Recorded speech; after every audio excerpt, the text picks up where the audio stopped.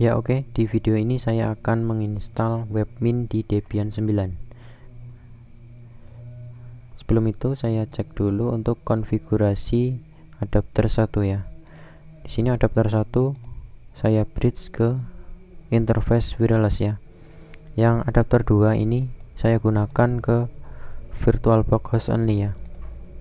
Nah, untuk adapter 1 ini saya fungsikan sebagai koneksi ke internet lalu yang adapter kedua ini saya fungsikan sebagai koneksi ke klien ya oke. Nah setelah itu saya akan login dulu ke server saya menggunakan root ya.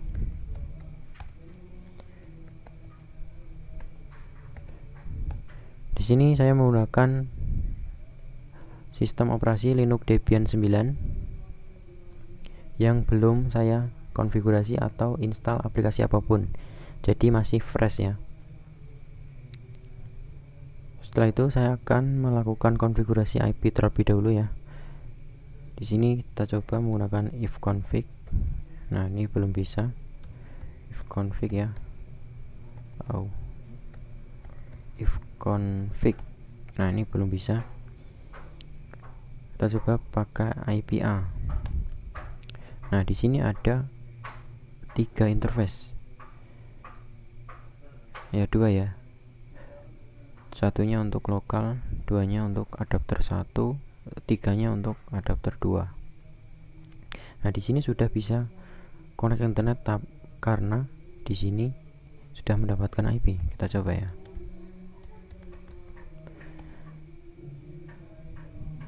Oke, di sini sudah bisa koneksi koneksi ke internet. Nah, di sini sebelumnya saya sudah melakukan atau menambahkan repository lokal ke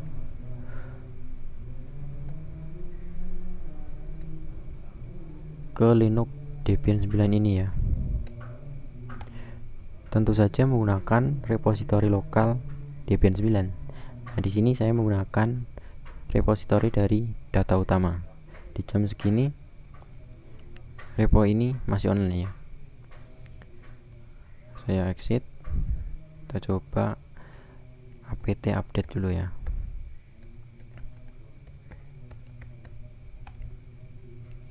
Oke di sini masih bisa ya untuk update.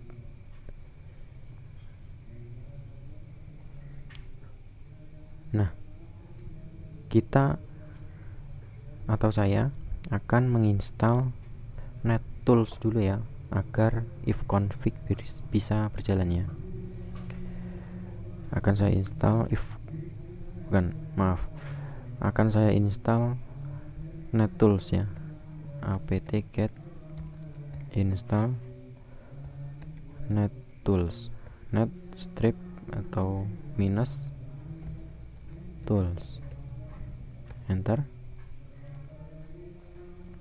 Nah di sini kita coba pakai if config. Nah di sini sudah bisa. Tetapi ini masih satu ya. Jadi interface-nya cuma adapter satu yang connect ke internet. Di sini saya akan melakukan konfigurasi IP adapter 2 dengan cara nano etc network interface. Oke. Nah di sini masih ada satu ya. Nah, saya kembali dulu. Untuk mengetahui nama interface dari adapter 2 kita bisa ketikkan perintah IP A lalu enter. Nah di sini adapter 2 menggunakan nama interface ENP0S8 yang adapter 1 itu ENP0S3 jadi kita tambahkan yang adapter 2 menggunakan interface ENP0S8 begitu. Bentar. Nah, di sini akan saya copy dulu ya. CTRL 6 lalu ke atas lalu kita, saya CTRL K O O lagi. Nah, di sini saya ganti menjadi 8 8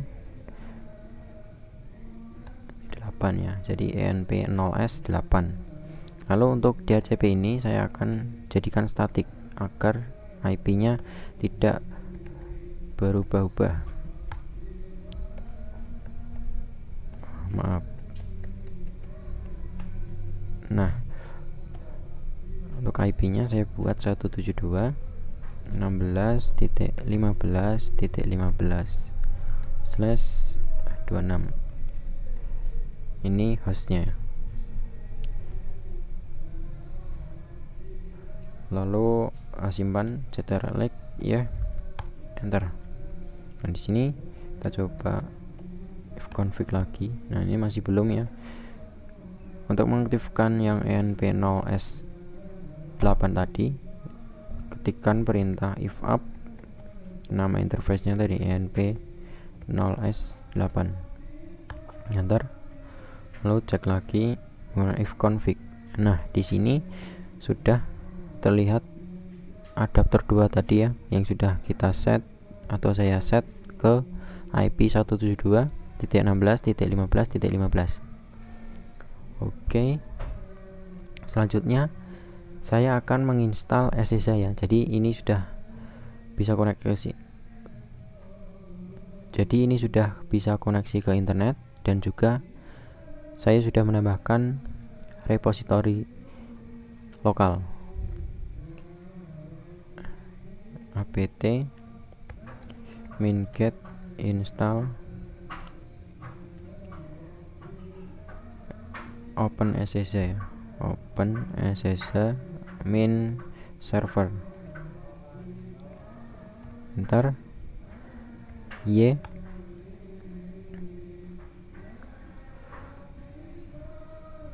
Di sini masih menggunakan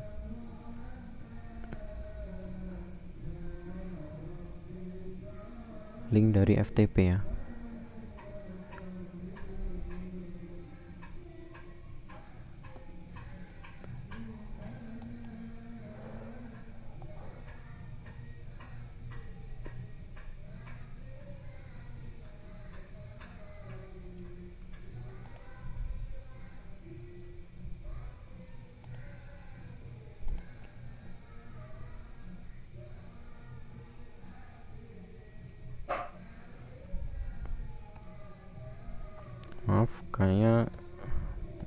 bisa ya? Coba kita ping lagi ke Google. Bisa deh. Ulang ya.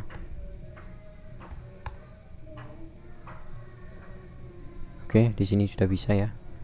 Jadi tadi error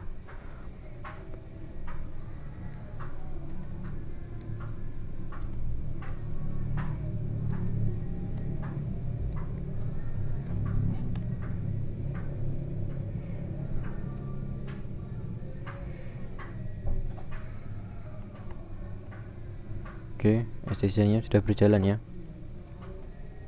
Nah, uh, pada saat ini jadi kita bisa mendownload uh, aplikasi Webmin secara langsung di website resminya ya, webmin.com.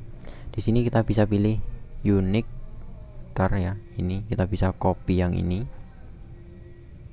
Tapi kita menggunakan SSH ya kalau kita copy. Jadi kalau menggunakan server asli gini kita bisa tuliskan uh, secara manual. Nah bisa menggunakan tar tar.gz atau yang Debian package. Bisa digunakan ke Debian maupun Ubuntu.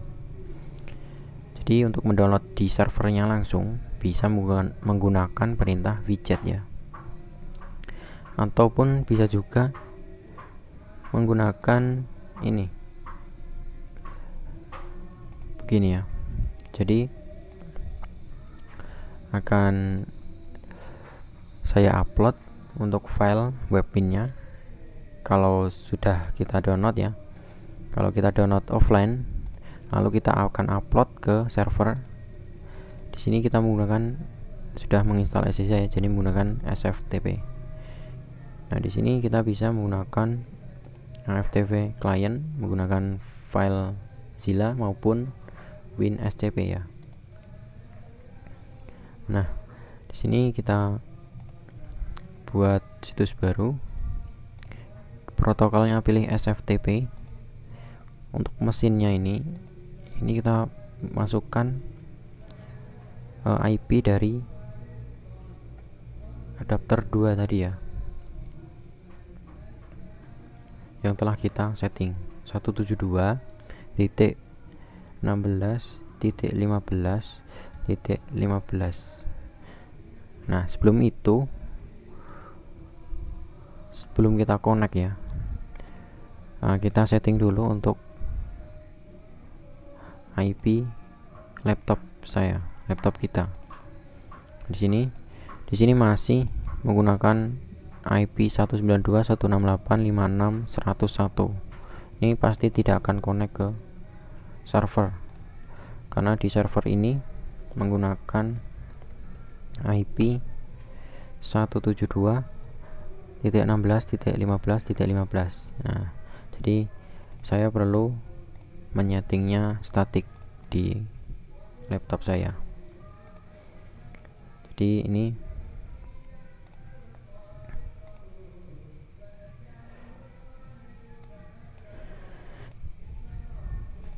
172.16.15 nah ini untuk yang terakhir ini bisa eh, selain dari 15 jadi satu segmen dengan server ya. Pastikan tidak 15 ya. Jadi untuk 15 nya digunakan ke gateway.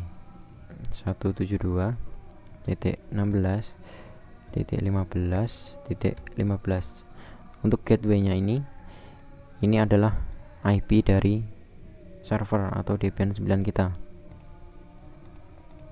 lalu oke okay. oke okay. nah, kita lihat di sini sudah berganti IP nya Eh, kalau ingin lebih jelasnya sudah terkonek atau belum bisa menggunakan CMD ya sini ping uh, saat bisa kita lihat dulu ya IP config dulu. Di sini ini adalah wifi nya nah di sini adalah virtual box only. Di sini sudah berganti yang telah kita setting statik tadi. Lalu kita coba ping dulu ya. Kita coba ping ke 172.16.15.15 nah di sini sudah terkoneksi ya ke server jadi kita bisa oh ini kita bisa login ke SFTP-nya server kita. Di sini kita gunakan nama pengguna biasa ya. Lalu masukkan passwordnya. Setelah itu menghubungkan ini. Sini kita lihat ini kita oke. Okay. Nah, di sini sudah ada directory dari Avance ID di home Avance ID. Nah, di sini kita ke directory dulu Avance ID ya. Home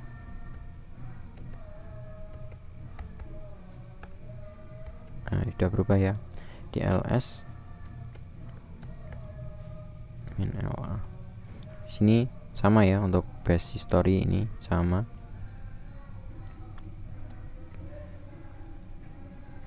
Oke, jadi di sini kita bisa kita bisa upload dari file lokal kita di sini lokal ke server kita di sini yang kanan. Nah, di sini ada webmin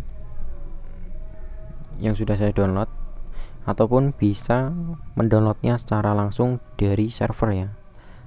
Dengan catatan server ini sudah terkoneksi dengan dengan internet.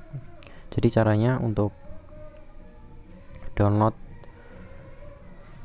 webmin dari server langsung bisa menggunakan perintah widget. Widget lalu URL dari webmin ini. Mana ya tadi? Nah, ini bisa menggunakan unique tar.gz ini maupun yang Debian package yang dep .dep ini ya bisa klik kanan lalu salin link ini tapi uh, downloadnya melalui ini ya saja karena kalau di sini uh, copy di sini itu nggak bisa.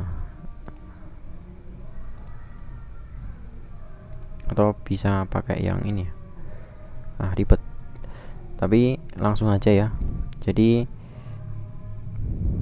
di sini kan sudah saya download untuk file aplikasi webmin. Jadi tinggal kita seret ke sini ataupun bisa kita klik kanan lalu upload. Jadi dia akan ke sini. Terupload ke server. Nah ini sudah transfer selesai. Oke kita coba ke server lagi. Nah, coba ls min ls saja ya. Jadi lihat di situ sudah terlihat untuk aplikasi webmin sudah ada di server kita. Coba pakai la sini sama ya namanya. Nah setelah itu kita bisa Eh, melakukan instalasi langsung ke server ini. Caranya bisa pakai ini. Ini yang buat saya sih. Oke. Di sini caranya cukup pakai ini. Kita ekstrak dulu menggunakan perintah tar. Nah, spasi min x min x aja sudah bisa sih. Min x itu ekstrak. Xz vf lalu nama dari uh, aplikasi yang akan kita bukan web minnya tadi web min ya, lalu langsung kita tap aja bisa karena cuma satu sih Nah, di sini lalu kita enter. Oke, di sini sudah berjalan untuk ekstraknya atau unpack. Nah, di sini sudah ya, sudah ter unpack. Kita lihat lagi. Sini ada dua. Yang satunya tanpa .tar.gz. Yang satunya ini adalah folder Nah, kita pindah ke folder dari webmin. Bukan perintah cd, ceng directory webmin enter. Nah, di sini sudah berubah ya. Home Awans ID lalu webmin min 1.900. Ini versinya. Setelah itu, kita bisa menjalankan instalasi dengan perintah .setup .setup.sh dot slash setup dot nah ini. Nah setelah kita enter dia akan menginstal di direktori ini. Tapi jika kita ingin uh, memindahkan direktori tujuannya. Seperti user local webmin kita bisa menambahkan perintah uh, ini slash user slash lokal slash webmin. Ini adalah direktorinya. Kita bisa menambahkan direktori di belakang ini dot slash setup dot sj ini. Bisa menambahkan ini ya di belakangnya begitu. Hmm, begitu ya dan seterusnya. Tapi saya akan install di sini. Langsung aja enter. Lalu ini enter lagi. Log file directory enter. Enter. Oke di sini sudah ya. Nah di sini untuk portnya port defaultnya adalah 10.000 enter. Untuk Oh, login namenya ini bisa langsung kita ubah ya. Jadi sini tapi di sini saya akan lanjut aja. Jadi nanti akan menggunakan login atau username admin. Enter. Passwordnya akan saya kosongi. Oke. Okay.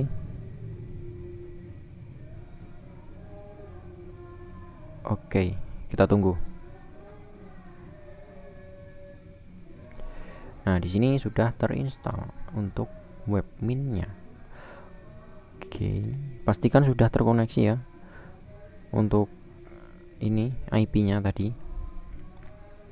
IP 172 tadi loh. IP server maksudnya 16.15.15 nah ini pastikan sudah terkoneksi. Lalu kita masukkan 172 16 16 titik 15 titik 15 lalu portnya dengan titik 2 ya. lalu 10.000 port defaultnya 10.000 kan? Oke okay, enter.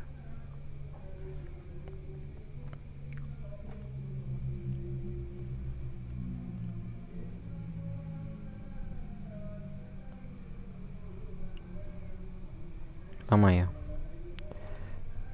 Benar gak sih oke bisa.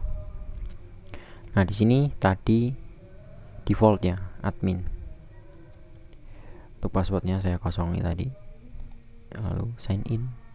Oke. Nah di sini sudah login ke webminnya begitu. Kita tunggu loadingnya lama ya. Mungkin uh, ada kendala di anunya. Ini ya. Oke, refresh ya kok beda gitu. Harusnya kan biru. Oh enggak ya? Ini naik modnya ada.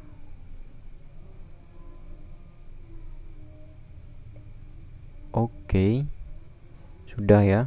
Ini operating sistemnya Debian Linux 9 Oke, betul semua ya. Ini benar. Ini dashboard ya, ini di webminnya. Ini versi versi webminnya 1.900. Jadi untuk versi terbarunya adalah 1.981 versi terbarunya ini yang versi 1.900 nah di sini bisa kita konfigurasi untuk uh, agar webminnya berjalan pada saat server itu nyala begitu. Jadi ini pilih yes. Tadi ke webmin configuration lalu yes ini ini bacanya lalu start at bot eh, start bot time start at bot time. Ini udah ya. Udah begitu aja sih nah di sini kita bisa melakukan instalasi apa pun. Nah, kita bisa install apa aja coba kita ya apa udah bisa? Oh belum bisa ya. Nah belum bisa ya. Jadi coba kita install apa aja klik here install by webmin. Oke. Okay. nah ini harus dipastikan untuk servernya harus terkoneksi dengan internet. Install now. Oke okay. nah di sini ada coba install.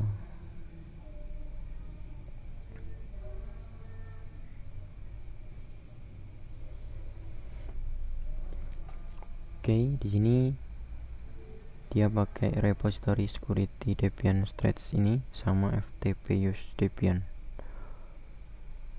Debian dia pakai FTP ya? Bukan dari lokal ya? Jadi kita harus matiin dulu sih harusnya. Reponya biar ke lokal aja. Oke di sini. Oke install complete. Oke, install complete. Nah, Retron tuh. Nah, ini udah ke install sih. Oh, yang mana tadi? Yang ini. Baca. Oke, sudah terinstall. Coba refresh. Nah, sudah terinstall Apache via webmin